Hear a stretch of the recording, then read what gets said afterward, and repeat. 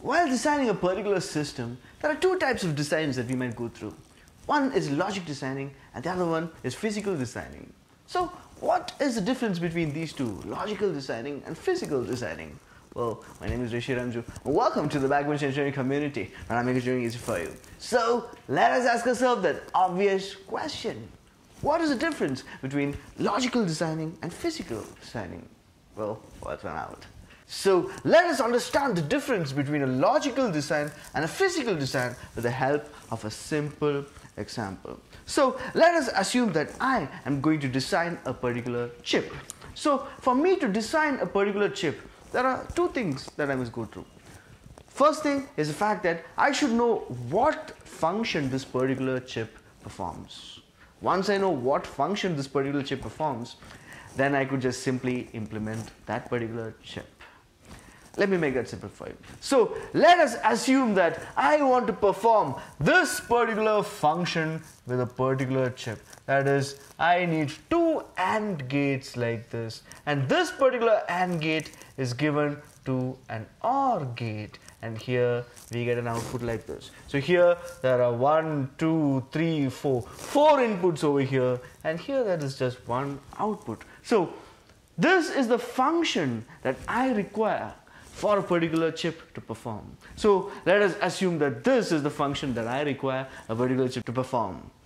This simply is what you refer to as the logical design. That is, it just describes the general functional capabilities of a particular system. Here, we make a logical design with the help of diagrams, charts, etc. Here, I have represented the logical design using gates. These two are AND gates and this is an OR gate.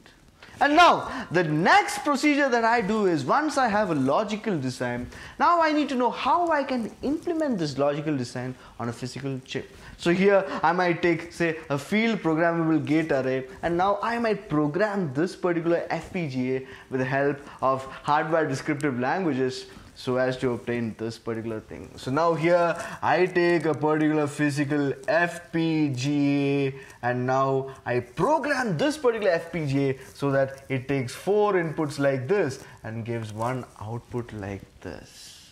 That is the physical designing.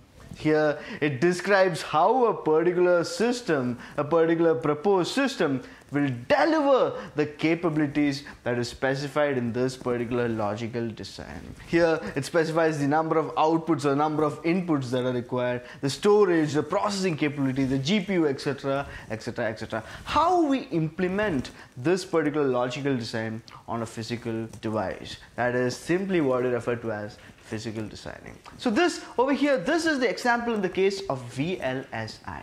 Let us take a real world example. Let us take the example of constructing a house. So here, when I'm, let's imagine that I'm going to construct a house. So the first thing is a logical design. So logically, I'd be thinking, okay, fine, I need a bedroom. I need a bedroom with an attached bathroom. The bedroom must have a balcony. A ba the balconies must have, like, it must be facing towards the west of my particular house. So these are all the logical designs. So here I know that I need a bedroom. I know that I need at least two living rooms. I, I know that I need a home theater setup. I know, maybe, let, let's imagine that I know that I need a swimming pool. But all these are just logical things that I know. All these are logical designs. I'm logically just designing it. The next step is physically implementing all these. So for us to physically implement all these logical designs, what I do is I now approach an architect and I tell him all these are my designs, all these are my logical designs, all these are my requirements. And this particular architect would now come and he would draw a physical design incorporating all these things. As simple as that, guys. This is simply the difference between a logical design and a physical design. As simple as that, there's nothing more to it.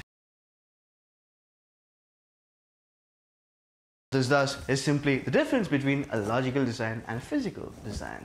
As simple as that, guys. There's nothing more to it. So I hope you guys now have clear understanding of what the difference is between a logical design and a physical design. And if you guys found this video informative, please do hit the like button and join this community by hitting that subscribe button. We'll be discussing about the further topics in the upcoming videos. So stay tuned, stay subscribed. Until next time, I'll see you guys in the next video. Thank you.